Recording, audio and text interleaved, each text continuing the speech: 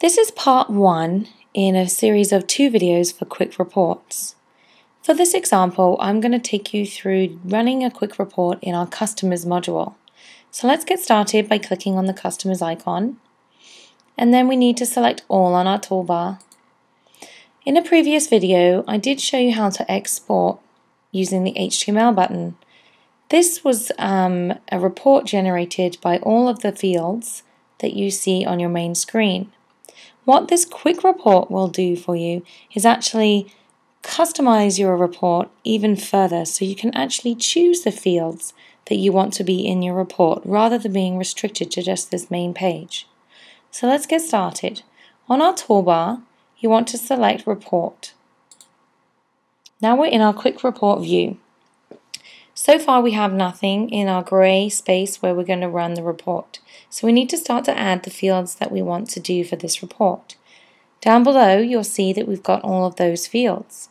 So for this example we're going to let's say put our customer ID into our report. Simply click on the um, field and drag and drop up into the grey area. Once you let go you'll see that it's now fixed.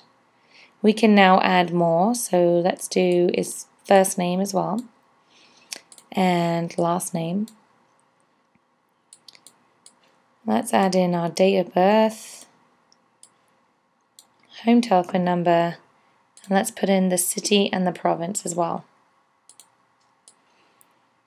Right, now you'll see that we've got a red line. This line is actually showing you where the page will actually cut off in your report. So right now it's going to actually cut off the province and the city. We can adjust that by doing um, a couple of different things. We can actually select on the line and drag and um, actually make the cells smaller. So we can adjust that. We can also make the font smaller to fit in too. So we can just click on the empty grey cell in the top left corner. You'll see that once you've highlighted everything will go blue. And we can drop down into our uh, font size and we can select a different font size. So now because we've made it smaller we can actually see that we're fitting in within this red line. Let's say also that we don't want to have the date of birth listed right here. We want to have that at the beginning of your report. So we can move that easily. We want to select the column first by clicking on the top uh, cell, wait for it to go blue, and then up on your little mini toolbar you'll see you can move to the left or you can move to the right. So we can click on the left button until we have the date of birth in the desired um, space. So now we have it at the beginning. We can also customize the size of the cells by right clicking on the top and you see we can uncheck the automatic width. So this means we can adjust the size and it will stay at that set size. If we actually have the automatic width check on, when the report pulls through, it will adjust to that automatic width of the largest piece of data in these cells. We can also sort our information that we pull in our report. We can do that by going below and either dragging or using the arrows to bring this, uh, the fields that we want to sort by over into the sort order box. So let's say that we want to sort by city. We can simply click over like such. And then let's say we want to sort by province. Well, we can click and drag over into this um, sort order field box. So now we can sort by city and province. Let's also say we don't actually want to see the province on our report, even though we've sorted by it. We can hide columns as well. So again, you need to select by clicking on the top cell, right click, and then we can click on hide. It's showing you that we're still going to bring the information through, but you, um, it's hashed out so we know that it's being hidden. So this is something that we can now save. We can use our little mini icons across the top, or we can actually click on File and Save As. We can save it however we want to and wherever we want to save it. I'll just save it to my desktop for this example. So what we've done is we've saved the template. We haven't saved the information or the data that's been pulled through from this uh, report. We've just saved these parameters that we've just set. So let's take a look at what this looks like when we actually run this report. So we need to go up to File and go down to Print Preview. You'll see that the um, report has been generated and we've got all of our customers in here. We've got it sorted by city. You'll see that there is no province because we hid it.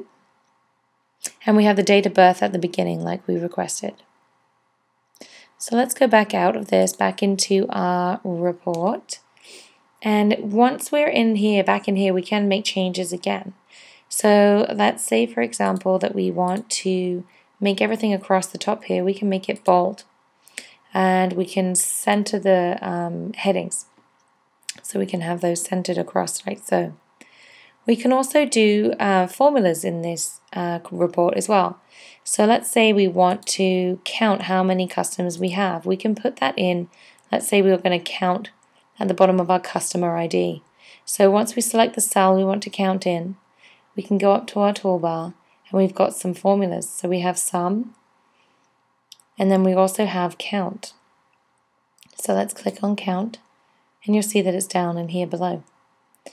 So let's see what that looks like. Let's run the report again. So again, you can go up to your toolbar, click on File, and Print Preview, or you can use your toolbar and click right on the Print Preview icon. So you'll see that we now have the centered titles and they're bold, and we have the count 13 underneath our customer IDs.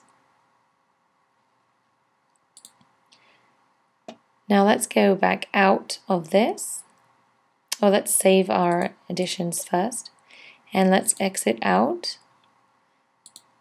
And let's go back in again one more time. And let's click on Report on the toolbar.